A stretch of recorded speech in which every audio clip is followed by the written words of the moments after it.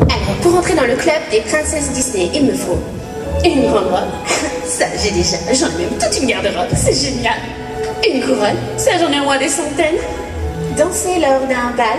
Déjà fait. Avoir une bonne fée. Hmm, oh, papa est riche, suffira bien pour tout.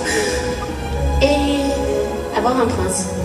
Oh, je ne sais là, ça gelé. Je ne deviendrai jamais princesse. Je serai toujours une princesse de Mardi Gras. Attendez, princesse et Mais bien sûr, direction les